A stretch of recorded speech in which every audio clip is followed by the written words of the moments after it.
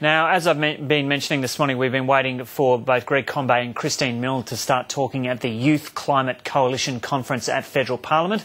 The Green Senator Christine Milne is speaking now. Let's take a listen in. Uh, had there been a majority government, we would not have been in the position we are now in, and that is, after all your hard work, after the work of the Multi-Party Climate Committee, we are now in a position this coming Sunday to announce a package which will deliver a carbon price in Australia.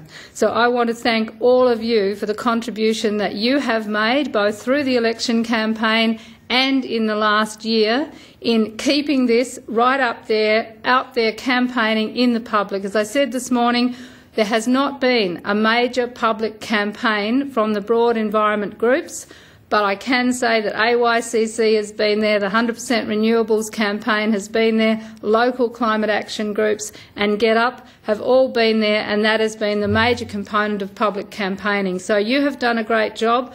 I have really appreciated it, so I think you should give yourselves a big clap for that.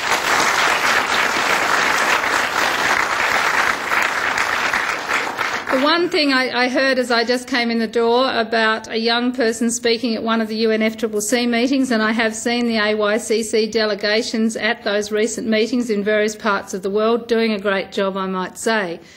The sense that um, you've been meeting all my life, I think I heard Ellen uh, say about this young person, you know, you don't need to tell me that you need more time.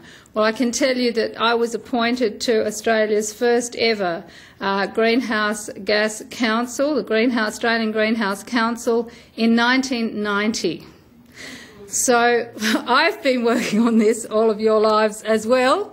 And my message really is to say that you, you cannot give up just because you are not able to persuade everybody of the level of this emergency as quickly as you need the action to be taken do not give up. It is very hard to keep on campaigning in the face of people saying it's not a problem, it's not urgent, we'll just do a bit here or a bit there. The main thing is if you believe in something, then you keep on fighting for it and it will eventually happen. And so what we're going to see now in Australia is a carbon pricing mechanism and a package which will go beyond a carbon price but go right across the whole spectrum of things that we have been asking for. And that's where this is a package which is a platform for all of you to build on. Because I know there are going to be people here who are real advocates for renewable energy, who want to see 100% renewables as quickly as possible, which I do.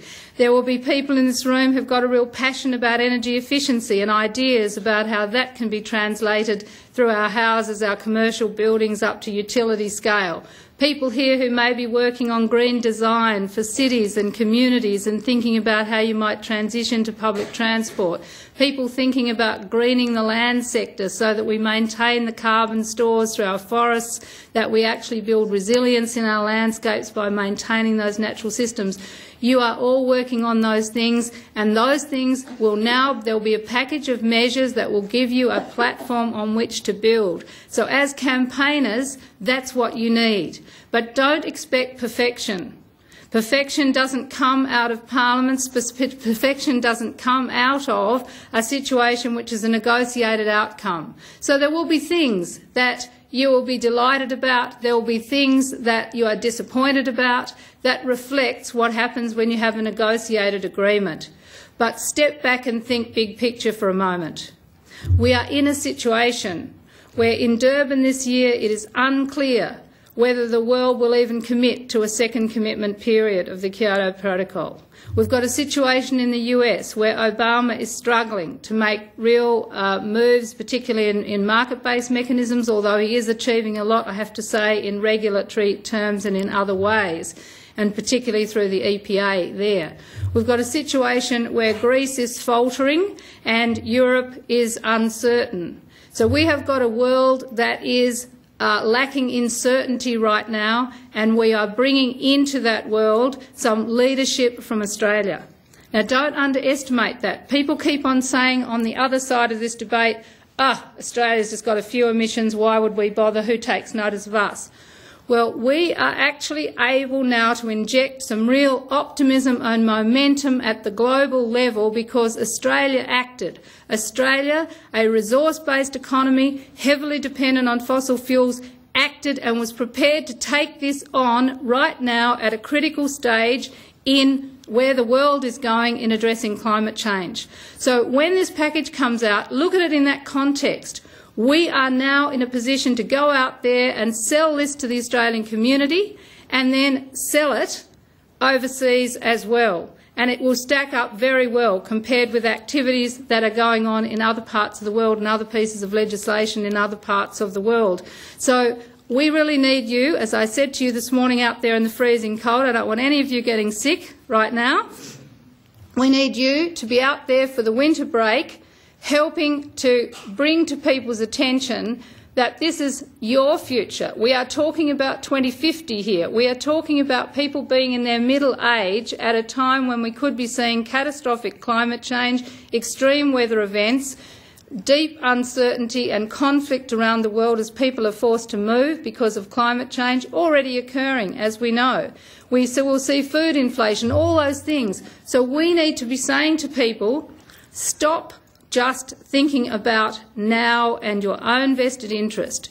Think about the world. Think about survival. Think about the fact that this is the century of the environment because it is the century of survival in the face of climate change. And perhaps the easiest way to explain it, which is what I've tried to do in several conferences, is to say to people that up until now, the whole political and economic system has been based on the idea that the earth has an infinite capacity to provide resources, just infinite capacity to provide resources, and the assumption has been that the Earth has an infinite capacity to absorb wastes to atmosphere, ocean and rivers and so on. And what we now know is we live on a finite planet with a finite ability to provide for some resources and a completely finite capacity to absorb wastes. And we have now hit the perimeters we have now hit those limits. The Earth cannot provide for an increasing population the level of extraction of resources and the level of dumping of waste. And that means this century is the century we tackle that. And the countries and the people who do tackle it are the people who are going to create jobs, provide solutions and become leaders in this century. And that is our job. If we're not going to take a lead in that in whatever profession we take, then we are really missing the opportunity to make a big contribution. So thank you again for what you're doing. I urge you to really get across the details in the package this weekend, and I look forward to campaigning on platforms with you from one end of the country to the other as we go out there challenging people and saying, get behind this.